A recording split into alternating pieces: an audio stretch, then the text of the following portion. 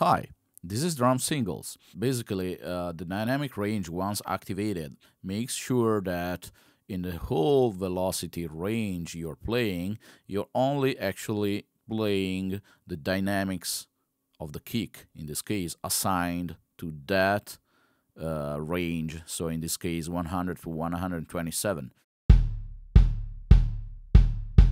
So I'm playing very softly and I still get a very uh, let's say aggressive sound. If I select, for example, 50 to 80, I will only get some mezzo forte.